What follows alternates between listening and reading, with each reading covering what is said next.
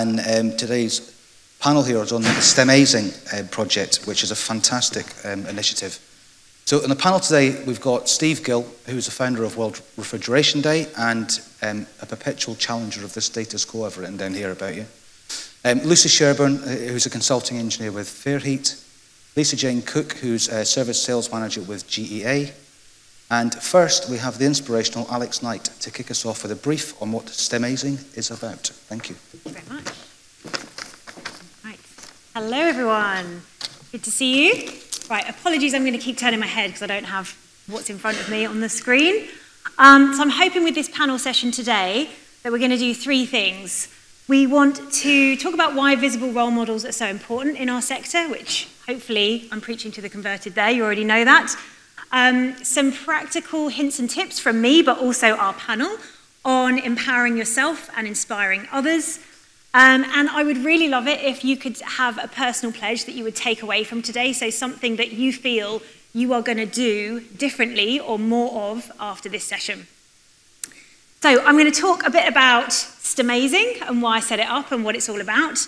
Um, first, a quick intro to me. So, I normally talk about these things. I'm a mechanical engineer, fellow of the IMechE, etc., etc. But I think one of the most important things to say is that I would describe myself as a recovering wallflower. So when I was younger, and this is still into my 20s, I would be very happy sitting on the sidelines, letting other people take the limelight, not interacting, not being like too overly sociable. I just found that so painful and awkward. Really, really sort of built up a lot of anxiety around that. And it took me a while to actually learn how to sort of manage that and how to embrace it and actually learn to enjoy it, to be in situations where I was in the limelight, I had the spotlight on me. And then that led to so many opportunities for making a difference, but also empowering myself. And things that you'll see up there, like speaking in front of large audiences, winning awards, being on TV, all of that wouldn't have happened if I hadn't have been proactive about sort of stretching my own comfort zone. So it's one of the things I think is particularly important for women in STEM. I'm glad to see we've got quite a lot of women in the audience. Um, we can help ourselves, but doing it through helping others. So by inspiring the next generation and using that as our vehicle, it actually ends up helping us at the same time. And part of, you know, being part of a bigger mission, which hopefully some of the ladies on the panel will talk about today, um, in a way is kind of empowering in itself. And it means it takes the pressure off you feeling like I'm putting myself out there you're part of something bigger than you. And I personally have found that very, very beneficial and rewarding. So, why is this so important? Why is it really important that we have visible role models? Why is it important that we have more diversity in STEM? We've already, I've been in sessions today where this has been talked about already. So it's brilliant to see this is on the agenda for a lot of people. The stats show it is a no-brainer. Diversity breeds innovation ultimately. We know diversity of thought leads to more innovation and, importantly, inclusive innovation. So, all the reports that are out there now, it's like we're, we're past even talking about it now. Diversity matters, diversity is really important in business. And the fact that it leads to more innovation is sort of the thing that I feel is should be the biggest driver. Yes, you get better performance, you get better um, bottom line, you know, your, your financials are better. But ultimately, in this industry, we have to be about innovation if we're going to solve the global challenges that many of have been talked about today already. So, but we do obviously have a challenge. And like I said, it's great to see, like I'd probably say more than 50% of the audience are women here. Um, maybe that's because it's about diversity, and that's another thing. I wasn't going to go off on this tangent, but Sometimes you find you get people in the minority coming to things about diversity and inclusion, and actually we need everybody to come, so thank you to the men who all sit in the room. Um, we do have a real challenge. You know, we've got a problem with the fact that a skills um, shortage in STEM is costing us a lot of money in the UK, full stop. Um, we are not tapping into the talent pipeline that is available to us because people don't understand what STEM careers are about or that they could be accessible to them. Um, so, you know, from a gender diversity perspective, which is where I focus, but also within that, we have a lot of other sort of areas of diversity that we look into. Women in STEM in the UK being only 24%, that's not enough. When you drill down to engineering, and a lot of people I've spoken to today are in the engineering field, it's only 16% women. So, you know, we are missing out on a huge talent pool by not tapping into more women in these sectors.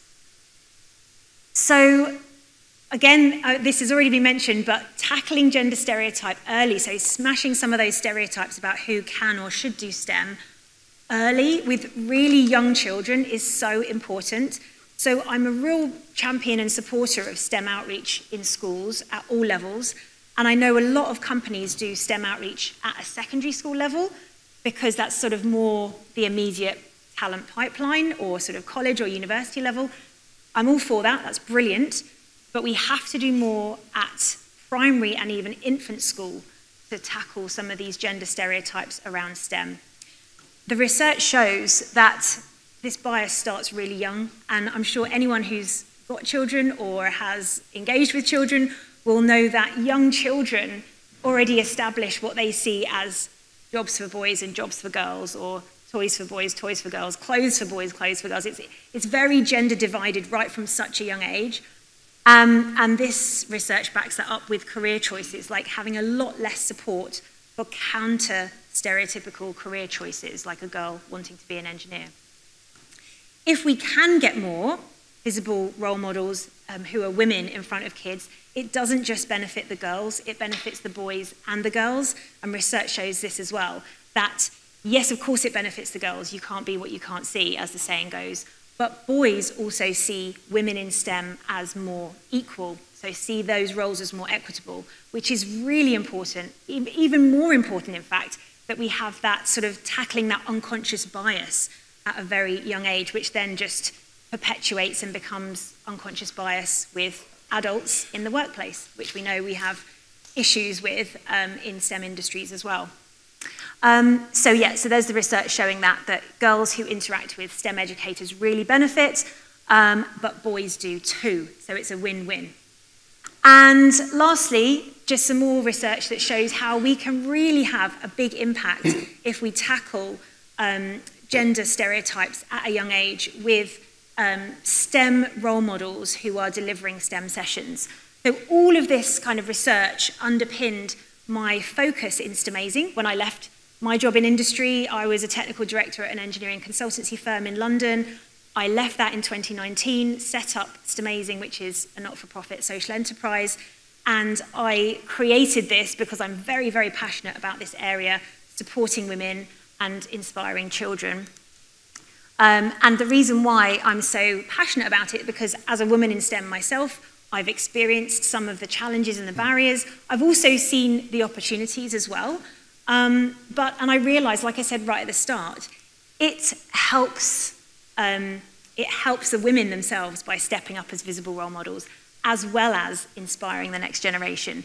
So that's why I've put empowered visible role models are just as important right now in the workplace as they are out there inspiring young people, okay? So it's a win-win um, if we can do more of that. But there's lots of things from many years of mentoring and managing other women in STEM that I have come to realize are barriers and there is a big barrier around stepping up as a visible role model. And one of the biggest things is just that feeling of fear that you don't necessarily want to be seen as a role model or sort of standing out from the crowd or having all eyes on you. It's a bit of a scary prospect. Um, some people love it, but those people are in the minority. Um, there's lots of things, and from talking to people that I've mentored over the years and worked with, these, these sort of things come up a lot. Fear of, for example, making a mistake in front of people, being ridiculed, being shamed, like even speaking up in a meeting and making a mistake, saying something wrong, um, or that people don't agree with. The feeling of not being good enough, not having the right skills or qualifications to be the one speaking up and saying, you know, being more visible and more vocal. So there's lots and lots of fear around this idea of being more visible and vocal as a role model. Um, but what we talk about a lot in the Inspiration Academy is the fact that we have to sort of step into our fear zone. We have to stretch our comfort zone because that's the only way we will grow and develop. It's great if you can do it in a supportive environment where those around you are championing you, so in a supportive work environment. But we have to be the ones to actually physically do that for ourselves, and there are many benefits of doing that. The other thing that I see a lot, and I just wanted to mention today, is this sort of um, issue of negative self talk that women have. We're very good at putting ourselves down um, or not taking credit where we deserve the credit and sort of, you know, being uh, sort of caring and making sure other people around us feel the credit when it's actually we deserve to take that credit. So I think the thing around negative self talk, which again research has showed is really, really damaging for anyone who does it, it actually reduces your performance. Studies have shown that if you rate yourself more poorly than you actually are, your performance gets worse. So we are really hurting ourselves when we have this negative internal sort of chatter, which we can watch out for, and it's, it's something you can become much more aware of and just stop doing. Um, so all of that is kind of like the backdrop as to why I set up STEMazing, because I feel like there is really a place for supporting women in STEM to be more confident in themselves, um, to be more visible as role models and link that into inspiring the next generation, which we do with our Amazing Women and our Amazing Kids initiatives. And then at the beginning of last year, um, I launched the Inspiration Academy, which again is like part of my not-for-profit. It's free for women in STEM to come on. It's free for primary schools to take part in. Um, I get sponsorship from organizations like World Refrigeration Day, who help me run that. Um, but it's open to any women in STEM. You don't have to have STEM qualifications to apply. You just have to be a woman in a STEM industry to apply. You can come on, do our four-month program, which is all about building you up as a visible role model and connecting you in with primary schools to deliver our tried and tested STEMazing Kids activities. So I've got a little video here to show you, which hopefully you'll be able to get a bit of an insight into what the Inspiration Academy is.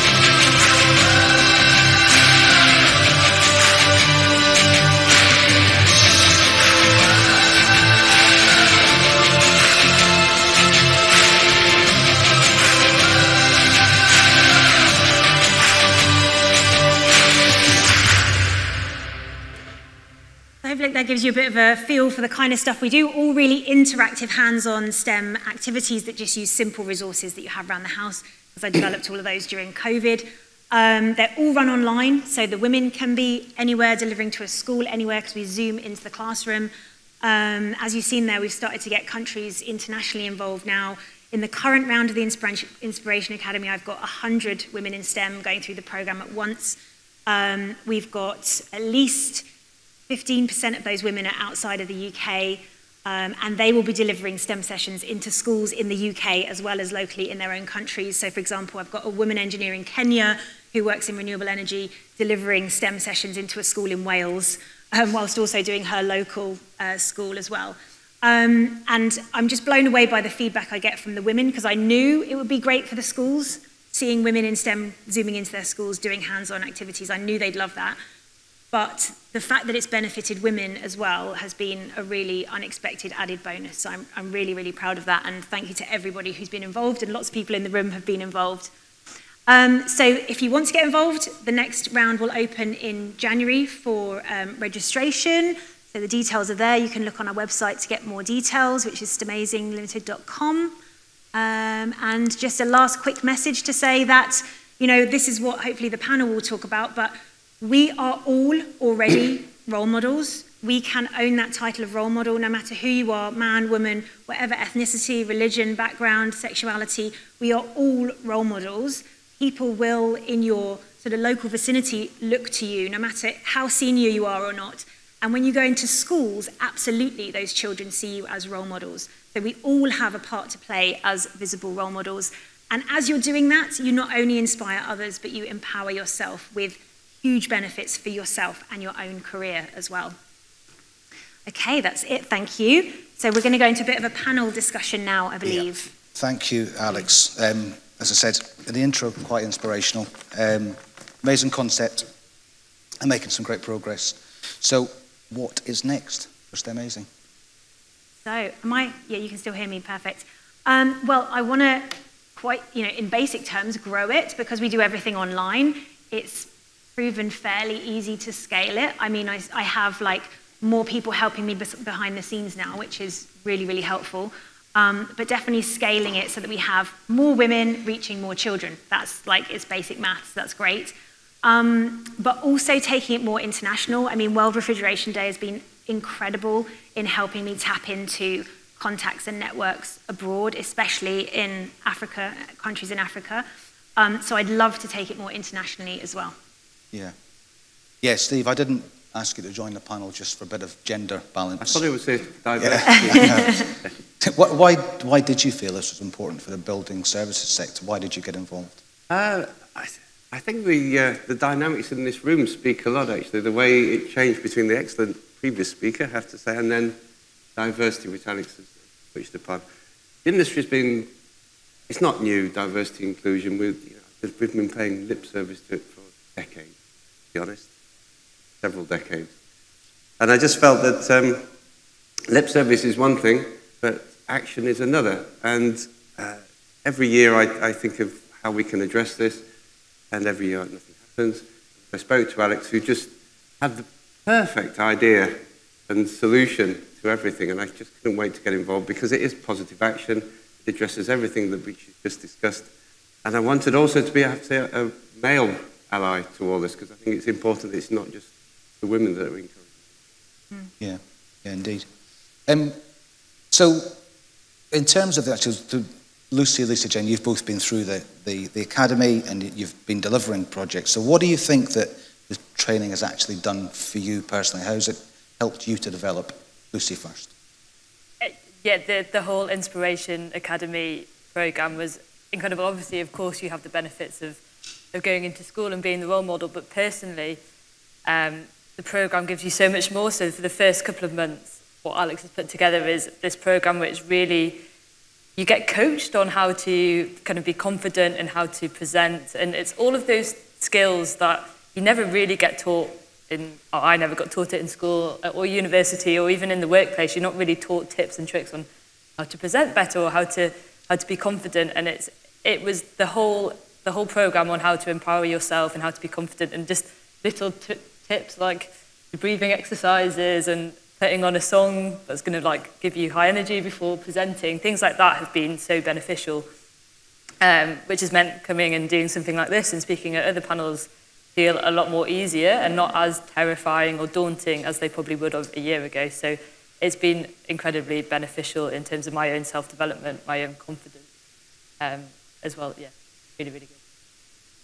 Lisa-Jayne, same question. Yeah, and I actually really similar experience, um, but I've said to Alex, for me it's been quite transformational for my career because of that empowerment and you know the fact that we've been given the skills to be able to stand up and present and to hold our own, like I said earlier, you know, to be able to go into a boardroom and, and actually say what we're thinking and be able to bring about change, you know, not just to, to, to be there to represent women, but actually to help guide and bring us to where we need to be.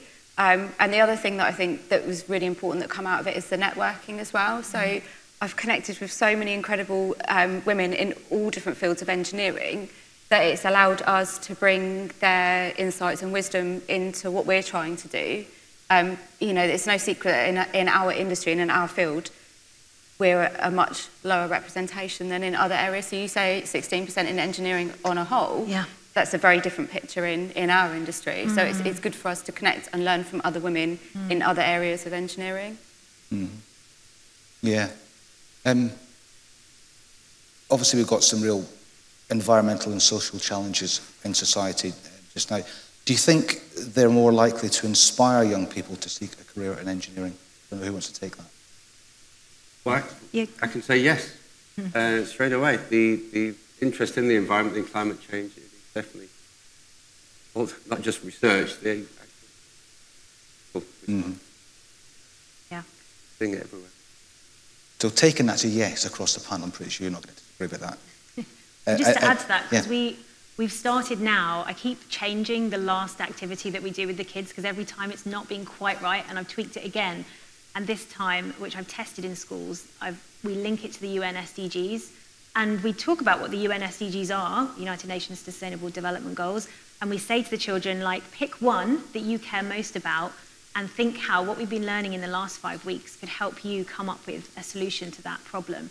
And so the kids, they, they really care about the environment. They care about plastics in the ocean. They care about climate change. They care about forest fires and flooding. And we're talking to seven year olds, and they really care about that, and they're coming up with fantastic ideas. So I completely agree. They, I think it will, like in a way, the, the crisis in so many areas will hopefully, if people can connect the fact that engineering and STEM skills are critical to solving those, that's the key connection, then hopefully that will inspire more, more to go into STEM. Yeah, because I've, I've always focused on that. with, Uh, the building services sector is responsible for something like circa 40% of the total energy consumption in the UK. So obviously we need the best minds Yeah. come into the sector to actually address that. Um, you mentioned 16%, um, there's only 16% of uh, people in engineering are, are women, and I think, Lisa Jen, I think RACHP is about 9%, but it's an even bigger, um, a more acute problem, I guess. So, and, and that's just looking at the gender diversity, Yeah. obviously, but we're actually very much not just a male industry, but we're a white male industry largely, and we really do need to address that, because there's a huge chunk of the population we're just not actually attracting in from the outset. So how do you think we can better communicate the opportunities that are open to the kind of diverse, the more diverse workforce of the future?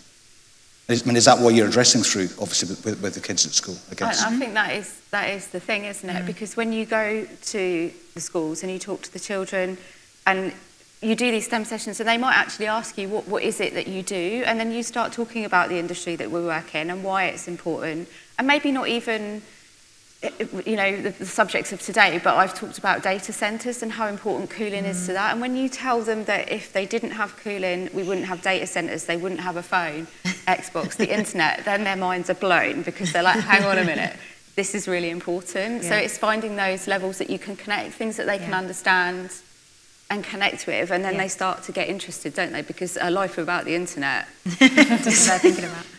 Yeah, yeah, making it tangible to everyday life, definitely. Can't be what you can't, what you don't see, right? Yeah. The, the poll results are up there, and it's 50-50. Oh. I guess that's in the room. okay, so we did a poll. Great. Well, I'd love to see them put their hands up. haven't we? Balanced diversity. um, I- we're, we're nearly out of time. Key message you want to take away from this? I do two key messages? Sorry. Okay. But it's, it's connected to the two things. So I think never feel like you haven't got something to offer yourself as a visible role model. Right now, you could go and inspire people, at, young people at any age, but particularly if you can connect with young people.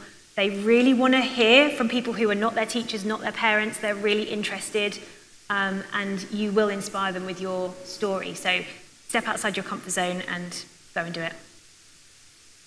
Lisa Jen? Um, I think probably for me it's probably more about the personal development side, so like the, the comfort zone. But if you have an opportunity to do something like um, amazing, or even just to get into schools and talk about your careers, it's a really good opportunity to sort of push yourself and develop those presentation skills. And you know, there's nothing more scary than 300 15-year-olds in the hall. So it's it's that really to take those opportunities for the personal development. I think, I guess for people sat in this room who might be a male or, I, it, it was Steve who introduced the program to me. I wasn't aware of it. So I think if you're sat here and you know somebody who might be a really good visible role model who works in your company, somebody you know in STEM, give them a bit of encouragement to go and sign up because I think there's even a bit of encouragement needed or a bit of a push needed to sign up to something like this. And Steve, when we met earlier on in the year, so it's been incredible in terms of personal development um, and the, all the benefits that have come from it. So yeah, I think my key message is if you've got people who you think might be good, sign up because it really is beneficial. I just, uh, just to answer your earlier thing about diversity, I mean, uh, a woman in Kenya speaking to somebody, well, how diverse do you want? And did you see the, the deaf uh, presenter? It's, it's much broader than just gender, this is. It's Mm-hmm. through diversity. Congratulations to Alex. Absolutely. That's a good message to finish on. Thanks very much, um, Alex, and all of you for, um, for joining us today. It's a fantastic project. We're really, really proud of yourself. Thank you.